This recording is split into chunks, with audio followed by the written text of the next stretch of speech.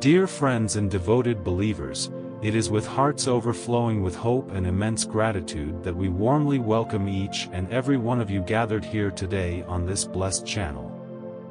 May the enduring peace and boundless grace of our Lord Jesus Christ be with you always, guiding and comforting you through every moment of your lives. In a rare and striking moment of candor, Pope Francis has recently spoken out about the foreboding arrival of the terrifying Antichrist, stirring deep reflections and conversations within our global community.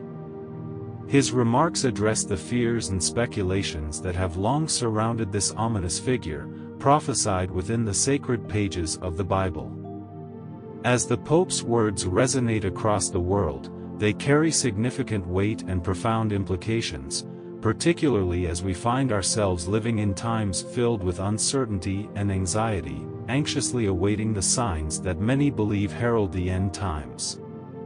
This raises critical questions. Could the emergence of the Antichrist truly be imminent?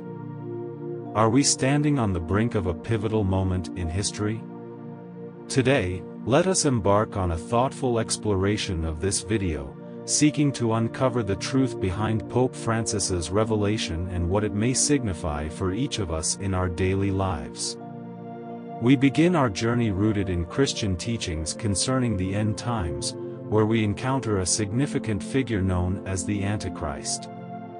This Antichrist is prophesied to oppose Jesus Christ directly, attempting to usurp his rightful place before Jesus returns in all his glory for the second coming.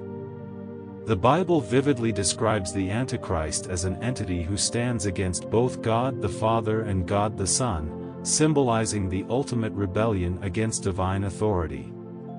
Within Christian belief, various descriptions have been associated with this nefarious figure. He is referred to as the little horn in Daniel's vision, the man of sin in Paul's second epistle to the Thessalonians, and the beast of the sea in the apocalyptic imagery found in the book of Revelation. These portrayals form an integral part of the Christian understanding of the Antichrist, painting a picture of an adversary steeped in evil and deception. The timing of the Antichrist's arrival is often intricately linked to the concept of millennialism and the eschatological framework surrounding the end times. Notably, in the New Testament, the term Antichrist appears exclusively in the epistles of John. While John likely coined this term, he drew upon familiar themes present in Jewish and early Christian writings, which often depicted the arch-nemesis of God's people. John's focus on the Antichrist is deeply Christologically driven, serving as a counter to heretical ideas that threaten the faith community. In this context, he identifies false teachers as antichrists who deny the essential truth that Jesus is the Christ and that he came in the flesh. John's distinction between the singular antichrist and the plural antichrists is crucial. The term antichrists refers to various false teachers and prophets who mislead the faithful, echoing the warnings given in the Olivet Discourse about the emergence of false messiahs. These individuals, as described in Matthew 24 verse 24 and Mark 13 verse 22, distort the truth about Jesus Christ and undermine Orthodox Christology, presenting themselves as leaders of subgroups that deviate from the apostolic norms established under Christ's lordship. In 1 John 4 verse 3, we find a likely connection between the Antichrist and the abomination of desolation, the man of lawlessness, and the beast, figures steeped in prophetic significance. This anticipation of an evil figure draws from Daniel's visions and other prophetic elements in the Old Testament, depicting a man who is not only inspired by evil but also stands in direct opposition to God's chosen people. While John acknowledges the eventual coming of the Antichrist, he is primarily concerned with the present reality of false teachers who embody the very spirit of the Antichrist. The presence of these antichrists serves as a sobering reminder that we are currently living in what the New Testament refers to as the eschatological last hour. This term signifies a period leading up to the culmination of the ages, marked by the final judgment and the ultimate salvation promised by God. Rooted in the Old Testament expectations of divine intervention, the New Testament writers firmly believed that the arrival, death, and resurrection of Jesus signaled the beginning of the last days, a timeline that will ultimately reach its fulfillment with his glorious return. They anticipated an increase in wickedness and significant world events unfolding before Christ's second coming, further emphasizing the need for vigilance and steadfast faith during these trying times. As we navigate this complex and often tumultuous world, let us remain anchored in the truth of God's Word, continuously seeking understanding and wisdom. Together, we can stand firm in our faith and draw closer to our Lord as we face the challenges and uncertainties of the present age. Paul warned of an eschatological deception where those who refuse to believe will be misled by signs and false teachings, masquerading as a false Messiah but ultimately defeated at Christ's return. Throughout history, figures such as Nero, Stalin, and Hitler have been speculated to be the Antichrist, but these interpretations have proven incorrect. Nevertheless, each generation has witnessed individuals opposing Christ, embodying the spirit of Antichrist. The eschatological Antichrist, depicted in Revelation 13 as the beast, plays a pivotal role in the end times, aligned with Satan, the great red dragon, in a fierce battle against God's people. The beast from the sea symbolizes the Antichrist, while the beast from the land represents a false prophet who enforces the Antichrist's worship. Together with the dragon, they form an unholy trinity that mocks the Holy Trinity. The Antichrist demands idolatrous worship, supported by the dragon's power, and claims divine status, particularly through a pseudo-resurrection that solidifies his influence. John parallels this figure to Daniel's vision of the little horn, portraying the Antichrist as boastful and persecuting the saints. Despite his temporary reign of 42 months, during which he wages war against believers, God will ultimately establish his kingdom and vindicate his people. John cautions believers to remain faithful amid escalating injustices, where all earthly inhabitants worship the beast, and the false prophet wields authority to execute dissenters. Economic oppression intensifies against the saints, but John encourages perseverance, echoing themes from the Old Testament. Signs of the Antichrist's arrival include global turmoil and unrest, as nations destabilize and leaders fail to provide lasting solutions. This figure will exploit humanity's longing for peace, presenting deceptive answers while gaining admiration.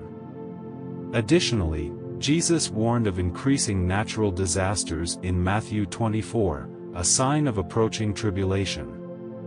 Believers will be spared from experiencing these firsthand but must recognize the signs and prepare spiritually. Wars and rumors of wars will also mark the times leading to the Antichrist's emergence, exacerbating chaos. Christians must remain discerning, resisting deceptive promises of power. Recent tensions in Israel hint at the potential for full-scale conflict, underscoring the need for believers to anchor themselves in biblical teachings, finding peace in faith despite chaos. Our hope rests in God's sovereignty and his righteous plan. Pope Francis also noted theories suggesting the Antichrist's presence. The apostate church leader theory proposes that the Antichrist will arise within the Christian church, exploiting divisions and leading many astray, drawing from passages like 1 Timothy 4 verses 1 to 2 about end-time apostasy. The alien deception theory posits that the Antichrist may present himself as an extraterrestrial being, emphasizing the supernatural deception this figure embodies. This concept resonates with biblical warnings about deception in the last days, supported by historical narratives of otherworldly interactions. The allure of advanced knowledge from such beings could mislead many, underscoring the necessity for vigilance against powerful false wonders, as cautioned in Matthew 24 verse 24 and 2 Thessalonians 2 verse 1. Imagine a being from another world arriving on Earth, claiming to solve global problems and offering answers to humanity's greatest concerns. This figure could easily attract a massive following, leading to widespread worship, especially in a culture that idolizes celebrities and leaders. The signs of the Antichrist's arrival are becoming more apparent, and as believers, we must remain firm in our faith and Scripture. Pope Francis emphasizes the need for vigilance in these uncertain times, reminding us to find hope in God's promises. The alien deception theory suggests that this being could embody a powerful deception foretold in Scripture, enticing people with advanced knowledge and insights. This scenario raises the risk of billions abandoning their faith to worship a single entity, illustrating humanity's desire for truth and susceptibility to deception. Another theory posits that the Antichrist will be a religious leader who uses deceptive miracles to create a one-world religion, exploiting spiritual vulnerabilities. Additionally, he may emerge as a charismatic political leader uniting nations through promises of peace, prosperity, and resolution to conflicts, ultimately leading them away from God. In Daniel 7, the prophecy speaks of a powerful fourth kingdom that could symbolize the Antichrist's global government. This leader would dominate various nations, suppress religious faith, and redirect worship from God to himself. Thus, the theories regarding the Antichrist emphasize a complex narrative of deception and manipulation, warning believers to remain discerning and steadfast in their faith. Shifting our focus to the phrase, change the times and the law, we find a profound implication of the Antichrist's intentions to fundamentally reshape society's legal and moral frameworks. This transformation appears to be aimed at aligning societal norms with his own values and objectives, which starkly contrast with God's commandments. Such a radical overhaul suggests a systematic dismantling of established moral principles and legal standards, paving the way for the Antichrist's agenda to thrive unchecked. Daniel 7 verses 23 to 25 presents a compelling portrayal of a distinct and formidable ruler who ascends to power, adeptly manipulating laws, defying divine authority, and aspiring for global supremacy. These characteristics align seamlessly with the political leader theory of the Antichrist, depicting him as a charismatic figure who galvanizes the world under a singular government while simultaneously leading individuals away from authentic faith and devotion. The political leader theory surrounding the Antichrist has instigated a recurring pattern in modern discussions and analyses. It appears that whenever a prominent political figure emerges, capturing the public's attention, various speculative theories arise, proposing that this leader may be the Antichrist. This phenomenon suggests an almost cyclical nature to the conjectures surrounding the identity of the Antichrist, as each new political player seems to ignite fresh discussions and re-examinations of biblical prophecies. Some interpretations of these prophecies suggest that the Antichrist will originate from a revitalized or reconstructed Roman Empire, often drawing parallels to contemporary entities such as the European Union or other Western coalitions. This perspective is frequently linked to the symbolic interpretations of the beasts described in the books of Daniel and Revelation, which many scholars argue represent various political powers and entities throughout history. In this context, the rich symbolism of the beasts is perceived as a representation of political authorities, with the Antichrist emerging from a modern representation of the ancient Roman Empire. Proponents of this theory point to historical and geopolitical developments in Europe as potential indicators of the fulfillment of biblical prophecies concerning the Antichrist's rise. The rich billionaire theory posits that the Antichrist will manifest as a wealthy and influential figure who leverages his vast resources to manipulate and control global systems, including governments. To better understand this theory, we can examine several passages from Revelation 13, which provide significant insights into the characteristics and influence of the Antichrist. Revelation 13 verses 1 to 2 initiates the vision with the striking imagery of a beast ascending from the sea, adorned with ten horns and seven heads. These symbols have been widely interpreted as representative of various nations or power structures. Within the framework of the rich billionaire theory, the Antichrist may wield control over these structures, possibly assuming the role of the leader of a global corporation or an influential political figure deeply connected to multiple world governments. Furthermore, Revelation 13 verses 4 to 8 reveals that the beast is granted dominion over every tribe, people, language, and nation, captivating the masses with its authority and power. This imagery serves as a potent symbol of the influence and control that a wealthy individual could potentially exercise in contemporary society. The theory asserts that the Antichrist's immense wealth would empower him to shape public opinion, manipulate media narratives, and exert influence over political leaders. Additionally, Revelation 13 verses 16 to 17 describes how a second beast coerces all individuals to receive a mark, without which they cannot engage in commerce. In the context of the rich billionaire theory, this mark could symbolize the Antichrist's capacity to dictate global economic policies by occupying key positions in international finance or controlling crucial technologies. Consequently, the Antichrist would be positioned to enforce economic frameworks that align with his objectives and vision for the world. In summary, the rich billionaire theory interprets the vivid imagery and descriptions found in Revelation 13 as indicative of a wealthy and influential figure who will harness his resources to gain control over various sectors of society, including politics, economics, and technology. This interpretation sheds light on a persistent phenomenon in modern society, wherein individuals who accumulate vast fortunes and reach billionaire status frequently become the subject of speculation regarding their possible role as the Antichrist.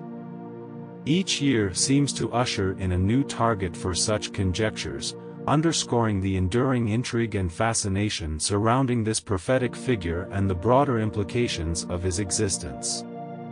In addition to these theories, the intersection of technology and artificial intelligence with the spirit of the Antichrist introduces new dimensions to contemporary discussions. Some theorists propose connections between the Antichrist and the rapidly advancing realms of artificial intelligence and technological systems, emphasizing the deceptive and controlling attributes attributed to the Antichrist as delineated in Revelation. While the actual emergence of the Antichrist remains to be seen, many believe that the spirit of the Antichrist is actively at work in the world, preparing the ground for his eventual arrival. For believers, recognizing the signs associated with the Antichrist spirit is of utmost importance. As cautioned in 1 John 4 verse 3, any spirit that fails to acknowledge Jesus is not from God. Indicators of the Antichrist spirit include the pervasive rise of secularism and the growing rejection of God's moral standards. The increasing societal emphasis on personal desires over divine guidance clearly reflects the insidious influence of the Antichrist spirit. This theory further explores the ways in which technology and artificial intelligence can be exploited for manipulation and deception. The emergence of deepfake technology and widespread misinformation online poses significant challenges in discerning truth from falsehood. As technological advancements continue to unfold, the potential for deceptive practices escalates, resulting in an increasingly blurred line between reality and illusion. The utilization of AI systems to shape narratives and control information plays directly into the broader theme of manipulation often associated with the Antichrist's tactics. In conclusion, the technology and AI theory highlights a compelling connection between the spirit of the Antichrist and the current age of technological innovation. The potential for deception, manipulation, and control facilitated by artificial intelligence serves as a crucial reminder for believers to maintain vigilance in their faith and to cultivate discernment in their understanding of the world around them. Ultimately, the myriad theories surrounding the Antichrist serve both as cautionary tales and as invitations for believers to deepen their relationship with God, remaining steadfast in their commitment to His Word as society navigates an ever-evolving and increasingly complex landscape.